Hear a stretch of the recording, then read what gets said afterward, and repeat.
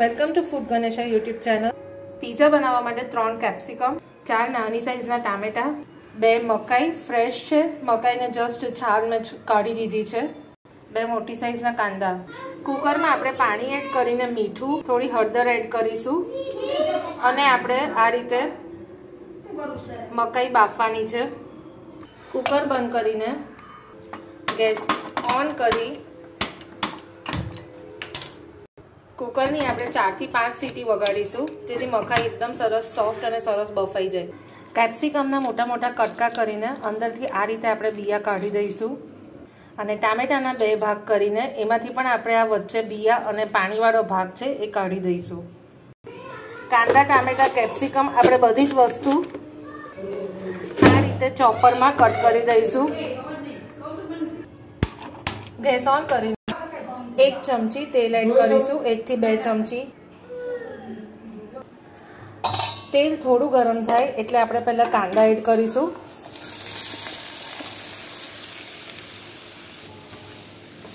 બરાબર કાંદા મિક્સ કરીને આપણે તેને પાંચ મિનિટ ચડવા દઈશું, આ રીતે થોડું ખુલ્લું રાખીને. બે ત્રણ મિનિટ પછી આપણે કેપ્સિકમ એડ કરીશું. બધું જ મેં ચોપરમાં જ કટ કરેલું છે. એક થોડીક હળદર એડ કરીશું. વધારે નથી કરવાની. ફરી આપણે મિક્સ કરીશું. આ જે મેથડ છે બનાવવાની. એ કોઈ સ્પેશિયલ શેફની કેવી નથી. પણ અમે જ્યારે નાના હતા ત્યારે મારી મમ્મી આ રીતે જ બનાવતી હતી પીઝા અમારા માટે. તેનું બે રીઝન હતું. શાક સતરાઈ જાય થોડું ઘણું અને એનો ટેસ્ટ પણ એકદમ સરસ આવતો અને ભરપૂર માત્રામાં શાક પણ ખવાઈ જતું. તો આ બે રીઝન છે. આપણે એકદમ ચઢવાનું નથી શાક. આપણે અધકચરું ચઢે એટલે ટામેટા એડ કરી દઈશું. ત્યાં સુધી ફરી એને ઢાંકી દઈશું. હવે આપણે ટામેટા એડ કરીશું. બધા જ. ફરીથી મિક્સ કરી દઈશું બરાબર.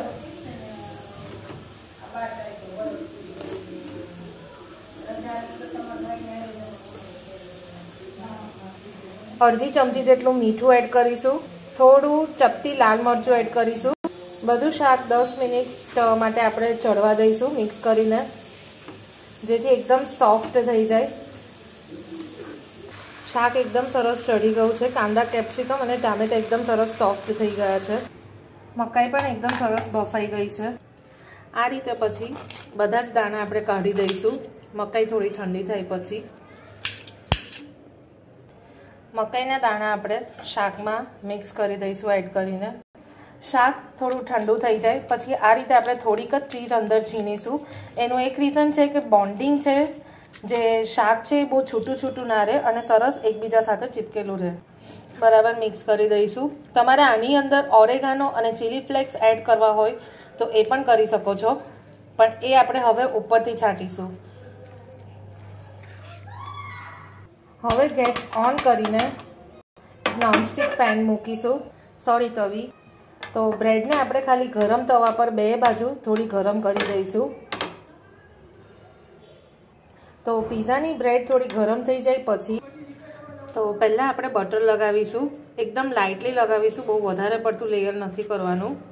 અડધી ચમચીથી પણ ઓછું બટર યુઝ થશે.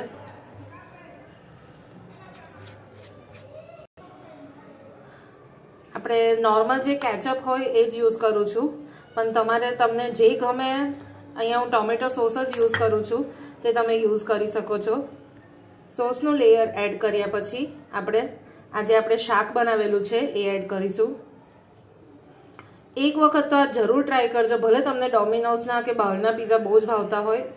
પણ આ જે છે ઘરની વસ્તુ, એનો ટેસ્ટ જ આખો અલગ છે.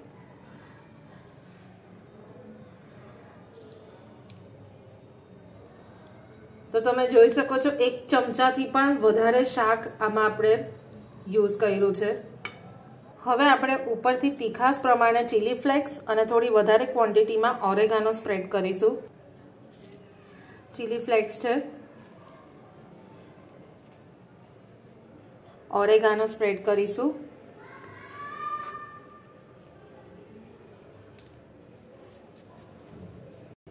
અને છેલ્લે આપણે ચીઝ છીણીશું.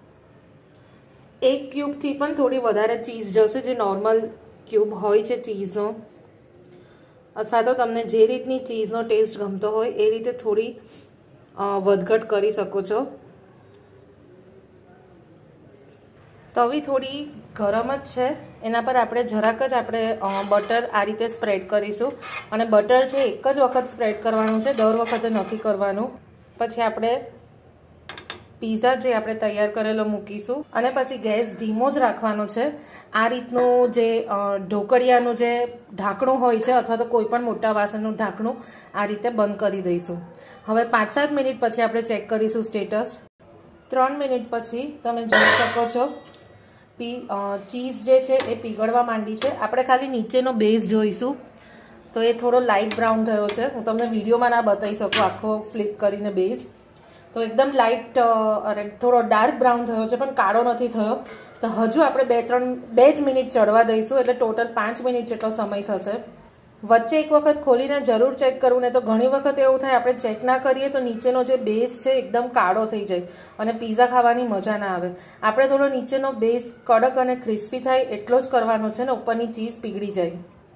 બીજી બે મિનિટ પછી ચીઝ એકદમ સરસ પીગળી ગઈ છે. અને નીચેથી બેઝ પણ એટલો બધો કાળો નથી થયો. એકદમ પરફેક્ટ થયું છે. ગેસ એકદમ ધીમો જ રાખીશું અને હવે આપણે બીજો પીઝા મૂકી દઈશું અને ફરીથી બંધ કરી દઈશું. બસ આ જ રીતે હું બધા જ પીઝા તૈયાર કરીને આજે બનાવવાની છું. આ રીતે પછી પીઝા કટરથી આપણે ધીરે ધીરે પીઝાના ટુકડા કરી દઈશું. નોર્મલ એકદમ ધારદાર ચપ્પુથી પણ કરી શકો છો.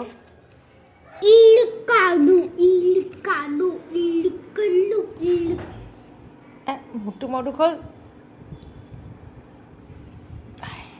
કેવું છે યમી યમી છે હા ખાઈશ ને